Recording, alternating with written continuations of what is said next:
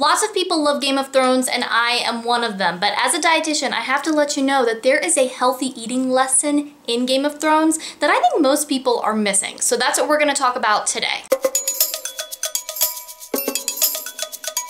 So I'm super excited for the new season of Game of Thrones to start. I love watching it, Jason loves watching it, and we always watch it together. Plus, Jason has read all of the books, and I started the books. I actually read the first one under a palm tree on our honeymoon, but then I stopped because I realized that I liked watching the show and not knowing what was going to happen. So I'll probably go back to them once the show is over and all of the books are out, um, and I can see, you know, kind of that version of things. But bottom line, I'm really excited for new episodes to be coming on on. And today I want to talk to you about something that I think most people love about the books and the show, and that is the food. The food in Game of Thrones is described in a way that it is just delectable and mouth-watering, and everyone loves it, and so many people talk about how delicious the food is. And I think food is a really important part of the story because it tells you so much about where you are and also who these characters are because food is just a big part of life in general. But even though the food is something that stands out to a lot of people, a lot of people are missing the healthy eating lesson that is baked in. Get it? Baked in?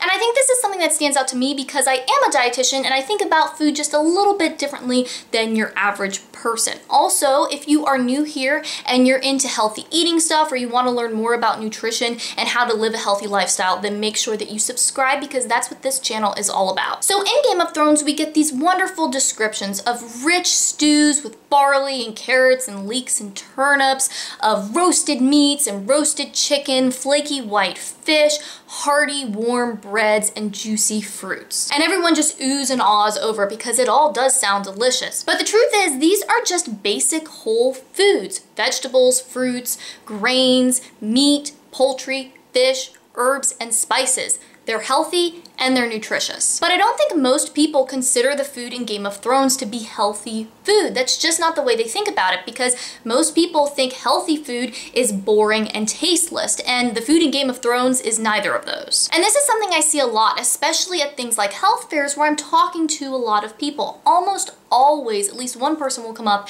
and say something along the lines of, I love XYZ food, but it tastes so good, so I know it can't be good for me. Or if I have healthy food samples for people to try, a lot of times they're hesitant or resistant because they're thinking, what is this food that this dietitian is trying to give me? I'm sure that it's going to taste terrible. And then if they do actually try it, you kind of see this light come on behind their eyes when they take the first bite. Usually they take the first bite and then they're like, oh, this tastes good. I mean, that, those are the words that people say. This tastes good. And then they'll take another bite good, you know? And it's this shock and surprise because a lot of people don't think that healthy food and food that tastes good can be the same thing. But it totally can be. And I mean, if you've been hanging around on my channel for a little while, especially if you've seen any of my what I eat in a day videos, you know that I'm not eating tasteless, boring, gross food. My food tastes good and I wouldn't eat it if it didn't taste good. And I think another part of this is that the food in Game of Thrones is food that takes a little bit of effort, a little bit of thought. It's not something that you're gonna pull out of a bag or pull out of a box. And so for people who aren't doing a lot of cooking, that kind of food can seem special. And I think this is also why people make such a big deal over Thanksgiving sometimes. I mean, if you think about it, Thanksgiving food really isn't that spectacular. I mean, if I think about what my family has at Thanksgiving, it's roasted turkey, roasted vegetables, mashed potatoes, cornbread stuffing, biscuits. I mean, these are just basic things. Now, don't get me wrong, it's all delicious, so it is spectacular in that way. I mean, I love all of the food, but it's not this super special thing that you can't have throughout the year. I mean, yes, on any other Thursday, you're probably not gonna have the variety of food, all the different types at one time like you do on Thanksgiving, but you can roast up a chicken any day of the week. You can make mashed potatoes or roasted vegetables any day of the week. These things aren't foods that are outside of our grasp throughout the year. They just take a little bit of thought and a little bit of effort. You can have this kind of food often. It just takes a little bit of meal planning. Now, if you want to see how I meal plan, I have a video on that, so I'll link it for you.